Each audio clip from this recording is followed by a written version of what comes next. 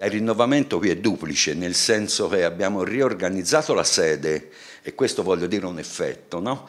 eh, che sia più agevole per chi viene qua da noi ed è giusto venga in una bella sede funzionale e in particolar modo il rinnovamento sta anche nell'approccio che, che, la CGL Retina intende darsi.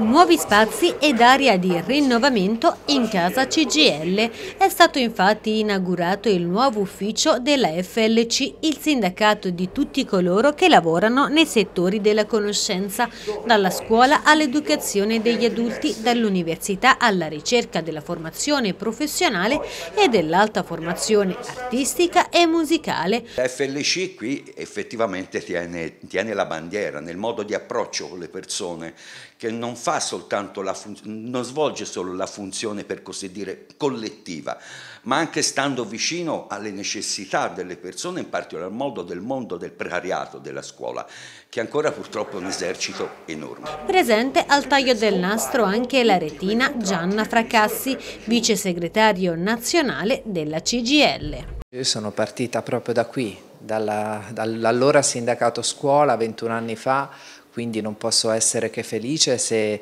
ehm, questa struttura della nostra organizzazione si rinnova, amplia le sue possibilità. Sì, è un bel viaggio e questo vuol dire anche che la nostra organizzazione è un'organizzazione dove dalla scuola, dai luoghi di lavoro, eh, puoi puoi arrivare ad avere anche incarichi molto importanti all'interno del, della CGL, sicuramente a me è capitato così.